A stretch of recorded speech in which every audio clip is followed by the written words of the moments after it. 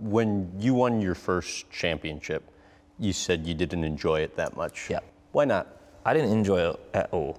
Um, How I come? think, I think, uh, well, it was kind of a getting to Formula One was an incredible achievement for, for our family. You know, it was so hard along the way. My dad had four jobs to even get me go karting, and we were racing against all these rich kids, and to have walked away in a honestly, we had a real crap car, road car, and crap trailer, and all these people had the flashy stuff, and we would arrive and we would knock them dead, and that was such a satisfying thing. And um, and then we got to then we got to Formula One, and the press, the pressure was so intense. You know, the pressure most of the pressure comes from myself to want to succeed, but when you first get to Formula One, the, the pressure to impress, the pressure to to deliver above and beyond what e- your ex- people's expectations are. So I remember my first year, my boss was like, "Don't be surprised. You know, you're going to be about half a second off the, you know, your teammate. He's, he's a two-time world champion, but don't worry about it. You know."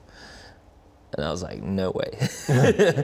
and that like that just kind of uh, maybe he actually said it to fire me up. I don't know, but and then you know I beat I nearly beat him in the first race. I beat him in my second race, uh, third race, sorry and uh, and that year I lost the world championship, which was really you know in the face of in front of so many, yeah, in the front of so many people, um, managing embarrassment, managing your emotions was, was really difficult, and the next year bounced back and. Why, why embarrassed though? I mean, here you are, your first year. You basically, you- you know, Um, well, you because- barely miss out on winning the championship. Well, yeah, I understand, but, but I don't know. I mean, it's it's when you're in front of cameras, the emotions. You know, I'm a very emotional, personal uh, person, so you're in, put in front of cameras all the time. The highs and the lows. I'm just meaning that, not particularly embarrassment, but that experience was kind of a bit traumatizing in my first year at such a young, young age, and I wasn't prepared for media. I didn't have media lessons how to speak to cameras, how to speak to people.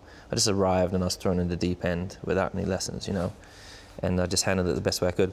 And I won the championship the next year, but um, again, really trau- traumatizing because I lost it for a second, and then the last corner I got the championship. And also, you know, I had a lot of penalties given me to me in those two years, through no fault of my own, and and uh, just through some strange things that were going on in the business and almost like anything to stop me from from succeeding. So when I finally succeeded, it was a great feeling, but we just rolled on to the next year and and I think I think just also as a as a as I was 23, I guess I just wasn't mature enough to to grasp everything that was going on and to go and enjoy it. For more clips from this interview, visit grahambensinger.com.